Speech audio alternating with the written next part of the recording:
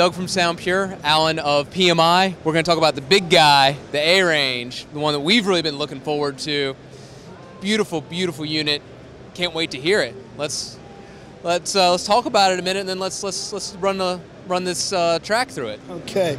Well, thanks, Doug. And so we're back again to the Trident history, and uh, this was pretty much the console that started it all.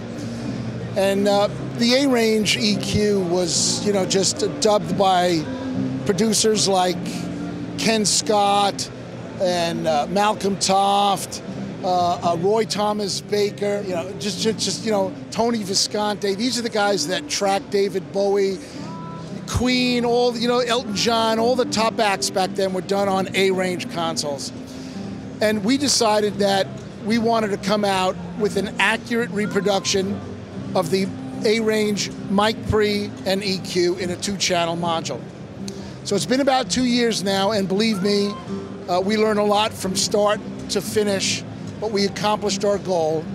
And along the way, all those people that I met, including people like uh, uh, uh um, the Robbs, who are known for Cherokee in the A range, all these people have heard these studios. Avest Studios, which is an A range studio, Monkey Pod, which is an A range uh, studio. Uh, we really took this to them and they were the ones that did the A-B comparisons, and they told us what was right, and they told us what was wrong. We searched high and low to find the original Sowter transformers. We searched high and low to find the original mic pre, which actually was a Jensen transformer. So after two years, I introduce you to the new Trident A range, and it is an exact reproduction of the original EQ and mic pre. Now, the only difference was is this was in a vertical position on a console. Now it's in a horizontal layout. So what makes the EQ different? It's just so tonal. And the reason why it's tonal is the two mid bands are coil inductive EQ. So there's actually wound coils in there that add that sound and give it that tone and give it that beautiful majestic top air. So the two mid bands are coil EQ and the high and low are selectable between many different frequencies and boost and cut, a la the slider. So each slider gives you a 15 dB boost or 15 dB cut. So you have a full range in stepped increments between all the settings for your mic and your line for your input gain. You have phase reverse, you have 48 volt phantom power, you select between mic and line. You have a series of low pass filters that you can select between 15, 12K, and 9K. So in any of the low end, you can select any of those filters. Same with the high pass filters, you can select between 25, 50, and 100 hertz. Simply press the button and select which one you want. The EQ is selectable in or out, and there is an insert in there, and the insert is also selectable pre or post. And that is on a, a balanced send and a balanced return. So it's very, very high end. On the four different bands, uh, you can select different frequencies for boost and cut. So as we start down here, we start with this one where you can dial in on at at uh, nine nine kilohertz, uh, uh, seven, five, and three. On the uh, that's the um, uh, mid high. You've got your high frequency at 15, 12, 10, and 8. You've got your uh, uh, upper mid, uh, um, which is 2, 1, 5, and 250, and your low frequency at 150, 180, and 50 hertz. Each one of those selectable frequencies are boost by 15 or cut by 15. So it's extremely flexible. So I'm just going to start sweeping some frequencies for you, and you can kind of get an idea of what it does.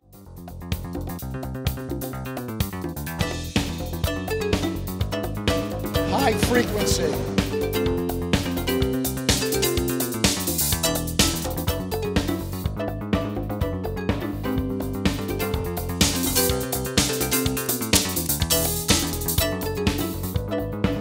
Very subtle shifts when you move from 8 to 10 to 12 to 15.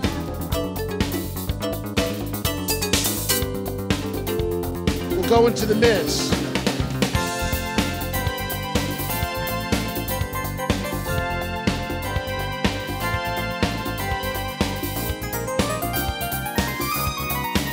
Puts a little air on top. Down low.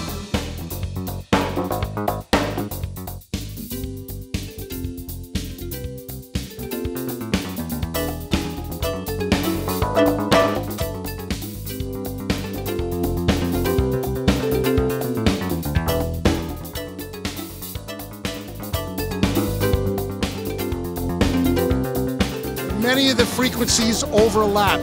This is just a lot of overlapping.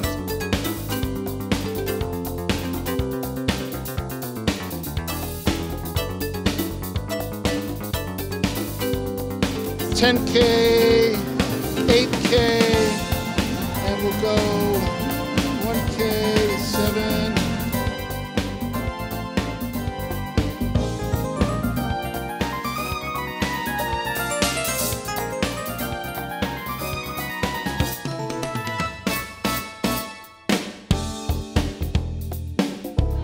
in the high pass filters.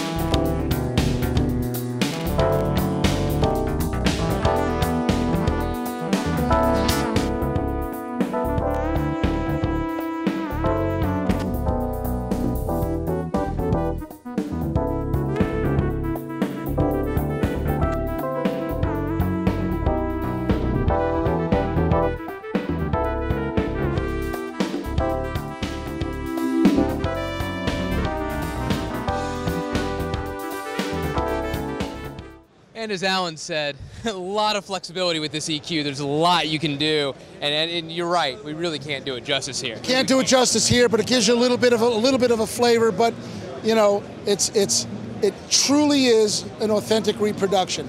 It's not our version of or our attempt of to be like.